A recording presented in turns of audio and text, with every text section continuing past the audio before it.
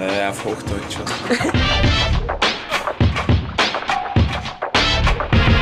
Wir kochen jetzt hier, oder ich richte hier unser Dessert an, momentan auf der Karte.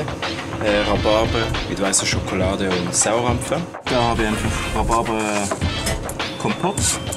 Ich tue schlicht den Rhabarber salzen, entwässern und dann äh, mit, mit Portwein Portweinreduktion machen. Darauf kommt unsere Mascarpone weiße Schokolade, das Puma.